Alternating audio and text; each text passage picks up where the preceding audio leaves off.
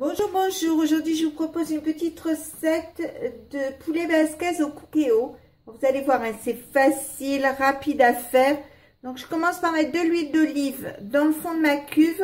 Alors, juste un petit filet parce qu'après, je vais mettre du beurre. Et donc, il faut pas que, faut pas non plus que ce soit trop, trop, trop gras. Et l'huile d'olive va permettre au beurre de ne pas brûler. Donc, je mets cuisson manuel. Cuisson classique, dernière icône, ok. Je mets une cuisse de poulet par personne, sauf là, vous voyez, c'est vraiment une grosse, donc j'en mets qu'une pour deux. Mais si vous avez des gros mangeurs, vous mettez une par personne. Je mets un oignon que je coupe en morceaux, comme ceci. Je remue. Je retourne ma cuisse de poulet. Quand c'est à la couleur que je veux, je mets 25 centilitres d'eau, une gousse d'ail que j'ai épluchée et dégermée, des tomates, alors ce sont des tomates de l'année dernière de mon jardin. Alors il y en a toutes sortes, hein, toutes les formes. Des poivrons, en vert, rouge, moi c'est pareil, c'est ceux de mon jardin, donc j'ai quasiment que des verts.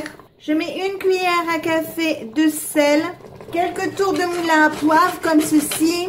Je mets une cuillère à café de fond de volaille que j'ai fait délayer dans de l'eau et un peu d'herbe de Provence. Alors, vous pouvez mettre des pommes de terre. Si vous décidez de mettre des pommes de terre, vous les mettez maintenant.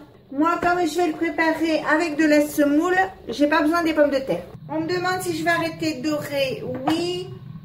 Cuisson sous pression. Ok. Donc, je vais le mettre à 20 minutes. Ok. Je ferme, je mets départ immédiat et on se retrouve dans 20 minutes. Voilà, ça y est, c'est cuit. Je l'ai ouvert, donc vous voyez, le poulet est bien cuit, les légumes aussi. Donc, je vais préparer ma semoule avec le jus.